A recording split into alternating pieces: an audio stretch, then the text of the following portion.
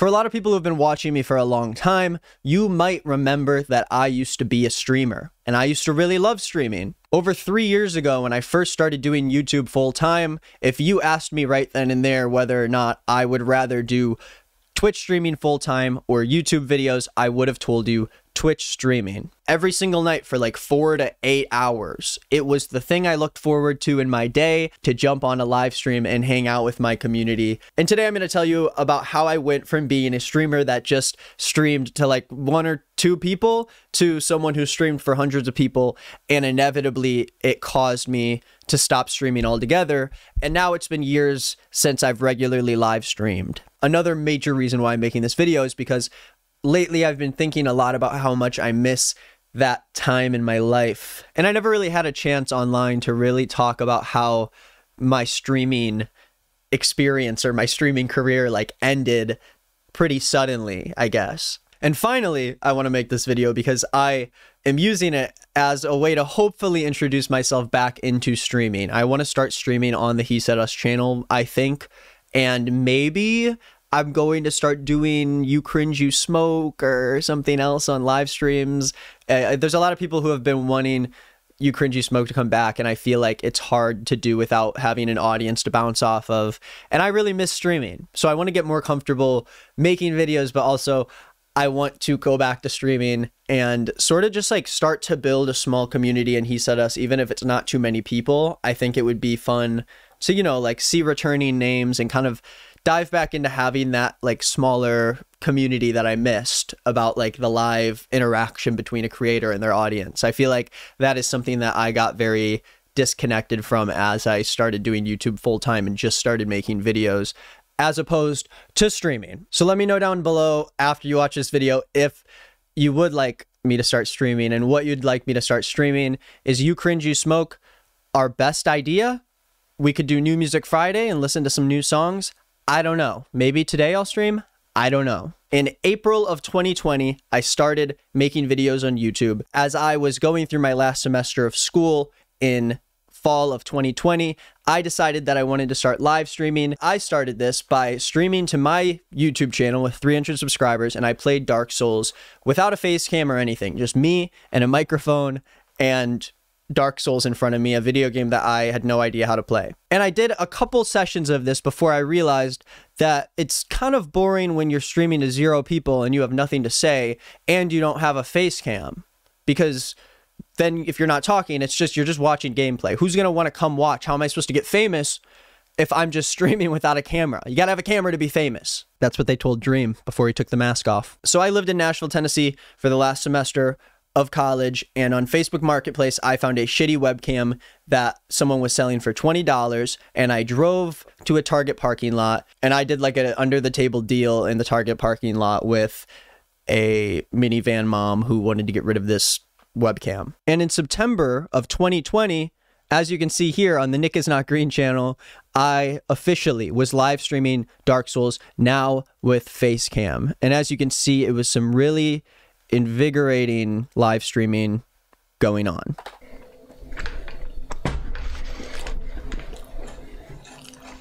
Danielle, dinner was good. So that's my sister-in-law who came in the chat is the one viewer who was watching me. Um, I was chewing directly into the microphone. Really high quality stuff here. little phlegm in the old throat. Little phlegm in the old throat. This was Nick from four years ago, and I almost feel like I look exactly the same. I feel like when I look at old YouTube videos, I feel like I look a lot different. I think there's something about the ADHD zoomer brain of streaming a game on your computer to nobody that is easier to focus on than just playing the game by yourself. And there would be a lot of times where I would go on and from the beginning to end of the stream, zero people would ever join. I would not say a single word to anybody. And so I continued streaming on this YouTube channel until I got one of my first very ever recurring viewers, which was a guy named Derek who kept coming in my chat. And I would play Dark Souls and talk to the one person, Derek, in my chat. And that would be my stream. And after a couple streams, he asked why I'm not streaming on Twitch. And as you can see here at the very end of September, I switched over from YouTube to Twitch and kind of did my first ever streaming. But the progression of streaming on Twitch and how many more random people would come into your stream and check it out, even if they wouldn't say anything, that was like the dopamine rush I needed to keep going. I would get on stream and talk to the one or two people who would actually chat out of you know, the 10 average people that were in my chat. But I started doing this every day. And you can see the first day I streamed, it might have only been two and a half hours, but I slowly started to gain a little bit of an addiction to it. And on Saturday, the first Saturday I started streaming, I streamed 13 hours.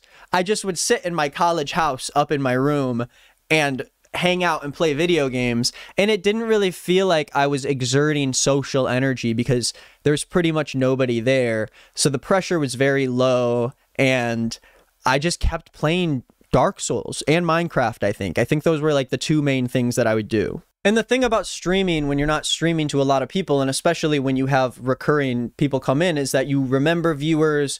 There are specific memories that are shared between you and your community. And it felt like this tight knit group of friends who were actually all anonymous strangers online. And there there was something comforting about that. And as a small streamer the goal of bringing in more average viewers or finding ways to just get people who clicked on your stream by accident to just hit the follow button it was like every single follow mattered for months if you if you just hit the free follow button, a whole alert would pop up on my screen and I would do like a whole dance with sound effects and all this stuff. And so moving home to my parents' place and going back to streaming as much as I wanted to, you can see I went from having only 7.5 average viewers to 10. And then suddenly in the month of February, I was doing my best streaming and was getting about 21 average viewers. And for me, numbers like this were very exciting. It happened over the span of a, a, few months. It felt like every stream I was slowly bringing more and more people in. I would finish the stream and get on Discord with my friend Derek from earlier, and we would go over every single stat that was on the screen and talk about you know how crazy it was that the the chat hit 30 viewers at one point in the night and that there were so many people in the chat and it felt like the stream was really turning into something big yeah we're going crazy on the night stream. We're going crazy with my long peen. I wish I didn't say that. So you as you can see, I did a lot of stuff that I it's hard for me to go back and watch. So I don't know if people remember when I made videos in this room, but then my parents told me to move my crap out of the guest room and put it in the basement. First time on Twitch and watching YouTube vids for a while. Thank you, thank you. So it's so weird watching clips of me just doing what I did for hours. There was so much footage of me online. I was constantly on camera and you can see the back of the office in my parents' basement. Um, and this is where I was for a, a while, still not really sure what I was going to be doing by this point. This was in April of 2021. So this was like kind of right around the time I put out my first commentary video with Danny and things slowly started to blow up. But I still had my little Twitch community of like 20, however many people. One of the big things that I did while in that first office streaming was I did a game show for my Twitch stream chat. Hello, everybody watching, and welcome to the first ever official Nick is Not Green's Survivor. As you can see, I would I would tell anyone who was in my chat who wanted to be a part of it to who to get in the chat and slowly people would get out every single turn but with random games that I do. And I remember that I hyped this thing up so much and was so excited to do it and put so much time into it. And my brother was in the other room watching, and it was like the most people I ever had in my chat. There were like 30 people in there. And I remember walking out of the room and my brother came out of his room and we were like, whoa, how are there so many people watching my stream? I felt like a streaming star running this game. You can see there's Derek right there who um, not only continued to stay with my Twitch chat, but he's now one of my best friends. And we still play video games now together. And he might join me when I start streaming again to be maybe my color commentator. But as YouTube started to blow up and the commentary thing became more and more popular with my YouTube channel, um, so did the people who would show up to my stream. I went from having my small community of about 20 people per stream to almost immediately jumping to 72 average viewers. Then a couple days later, 108 average viewers. And after that, 127, 143.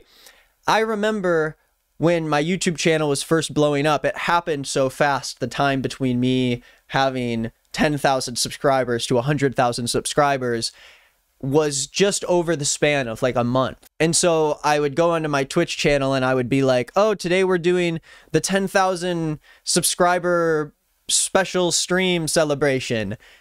And then the next night it would be like, oh, we're doing the 20,000 subscriber stream celebration. And then the next night was the 30,000. And it just like kept on going. And I kept returning back to stream with more and more energy about just how many people were interested in seeing what I loved doing and wanted to be a part of this community. And at the time, this was exactly what I always wanted. This was an indication that streaming full time was something that I could very well do, especially because I was putting over 100 hours in the whole month just into doing this. So I kept making YouTube videos and I kept shouting out my Twitch channel. And every week, more and more people would come to watch what we had to do in our channel. And that community grew a lot bigger.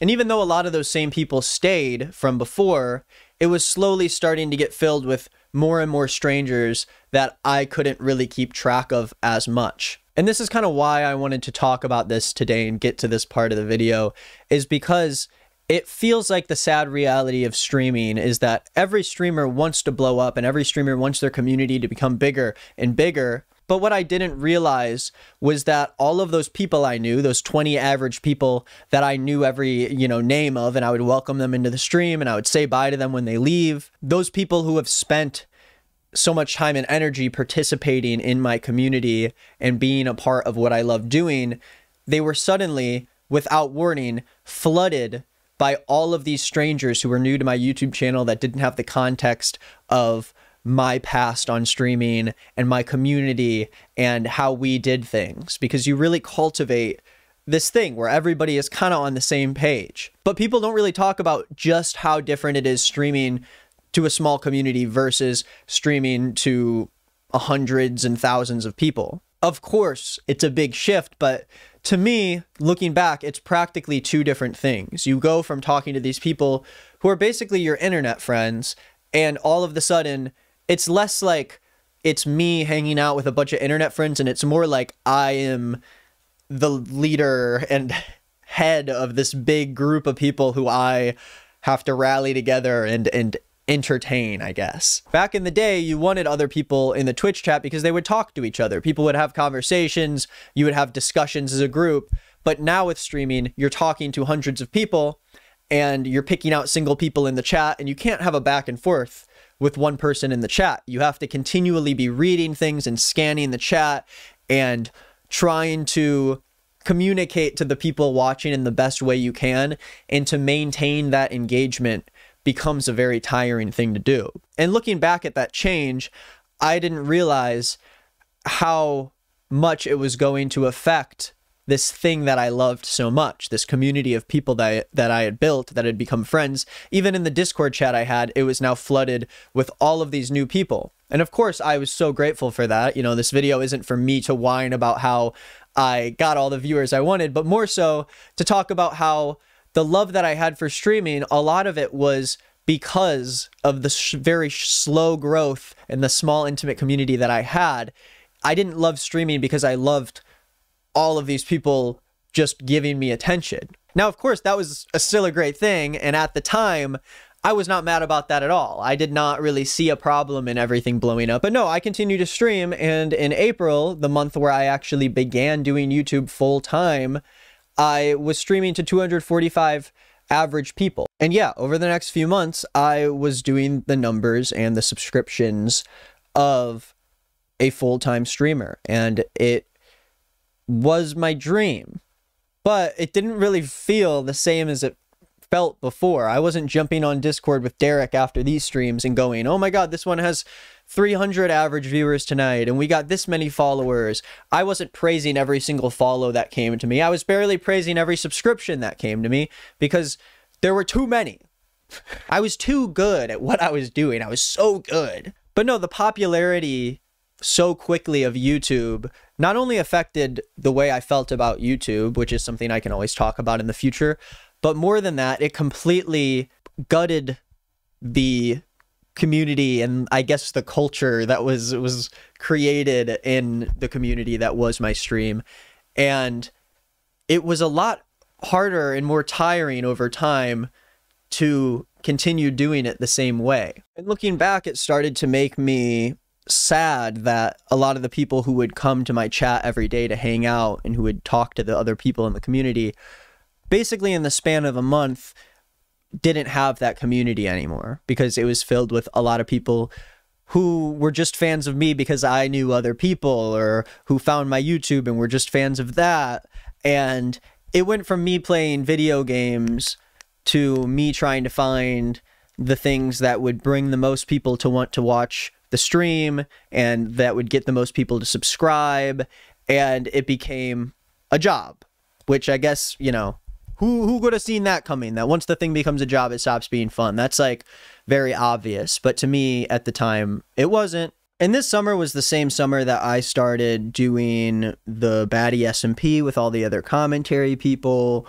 And I started recording videos on stream for my second channel. And things became more about okay, what can I do to create content while I'm here on stream so I can use it for YouTube? And it's hard because I felt like streaming was the most connected you could feel to an audience, kind of the realest you could get without going out into the real world. And coming back to something every day and having people who are there hanging out with you too is, I don't know, a connection that I feel like helps me stay motivated more than YouTube is. Because YouTube, you kind of create something and then you go through the editing process and then you upload it and wait for people to watch it. And there's no automatic back and forth to what you're doing at all. And a lot of times, the back and forth and bouncing off of other people or chatters is what makes the thing interesting in the first place. I remember when I first started having hundreds of people in my chat, I would start doing something called I think it was like cult hour, and every night we would turn off the lights and I'd put a candle, I'd light a little candle, and we would talk in the chat about things and advice that people needed and questions they had. And the chat would kind of discuss these different problems and pieces of advice that other chatters were asking for. And it was kind of the last semblance of like, a tight knit community that I had before it became too much to read the chat scrolling by. I'm so sad. I'm so sad. I want to cry. I'm so sad. I want to cry. And I think by the time that I moved to Los Angeles, like a year and a half ago, almost two years ago at this point, which is insane, I I just lost the love that I had for streaming. I wasn't doing you cringe, you smoke like I was doing when I lived in Illinois. I, I wasn't hanging out in here for hours. This office feels and continues to kind of feel so like vapid and, and has a lot of weird memories in it. Because when I moved here, it became very uncomfortable to create content. I didn't feel like I was at home or that I was in this like comfy little space. I felt like I was in this big tall ceiling ass white office with sound treatment all over it. So it's just like eerily professional, I guess. And that felt not as fulfilling to me. It, it, was harder for me to hang out and also not get stressed out by the numbers because at a certain point, it got to the point where I was getting so anxious about how many people were watching the Twitch chat because you would go from talking about stuff online or going from playing Minecraft, and then I would decide to play some other boring ass game and go back to something like Dark Souls, and suddenly half the chat leaves. And you watch in real time as people become less interested in what you're doing. And it is kind of also the first feeling you get from being a YouTuber where you went from putting out videos that you were just excited to talk about, and suddenly you're making videos for the algorithm and you're becoming stressed and anxious when your videos don't perform as well as you need them to, which is the start of what kind of ruined my relationship with being creative and making creative content because the fact that I was relying on it for not only for a job, but that it was directly con- connected to my internet persona and growing followers and subscribers was something that was just always the main objective grow it bigger, make more money, get more views. And so, why do I bring this up? I don't know. I think that part of my love for content creation was born out of Twitch. It wasn't because I was making YouTube videos about video games when I was in college and that caused me to continue making commentary videos. It was the way that I talked to a chat and the way that people responded and that's what I loved so much about content was the audience and creator interactions. But the more that I was stressed about the numbers, the less that I wanted to interact with the audience and the less that I wanted to look at what people said because you become more detached from your audience and people treat you less like you're the person in front of the camera and you're just like kind of this the thing in a box and people watch you for entertainment or to put you on in the background while you talk. And so suddenly you go from April streaming 137 hours in a month, but then on my way out of my parents' place, I start streaming less and less. It goes down to 34, goes back up to 50, but then all of a sudden, November, December, I just stop. And I don't like it anymore. I just lose I lose the kick to get back on the stream and go out there.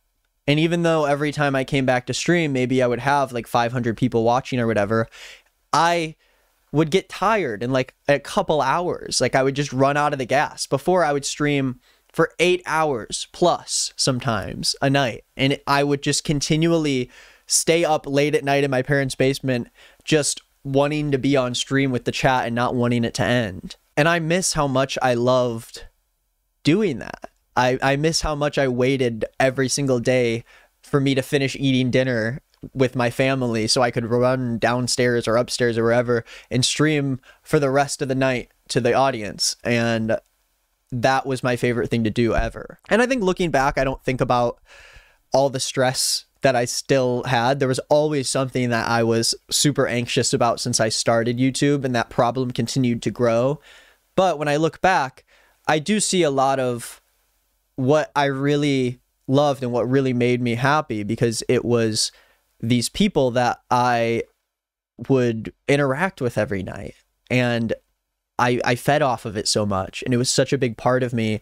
And back then, again, if you asked me what I would rather do full time, I would tell you I'd rather stream full time rather than make YouTube videos, even though YouTube was supporting me so much more than streaming was at that time. And I talked about this for way too long. I'm hoping that I edited it down to not be boring.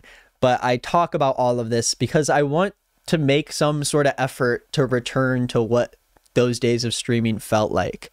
And I don't think I'm going to go back to Twitch because I don't know, it's just been so long since I've streamed on there that I don't feel like it's the best way for me to reach people. But I think that I might use He Said Us as a way to maybe try streaming again, whether that is doing live You Cringe You Smoke with the audience, or listening to New Music Friday, or looking at funny internet stories and just watching like funny little videos and maybe uploading stream clips to a channel also and start leaning more on how much I love interacting with a chat and people watching in real time. So I don't know if that was an entertaining video. Let me know what you think. If you were someone who used to be a part of my streams, um, let me know. I was at some party and someone came up to me who used to be a part of like the original streaming chat I had, who used to send stuff to my PO box, and I remembered her name and all of this stuff. It was crazy,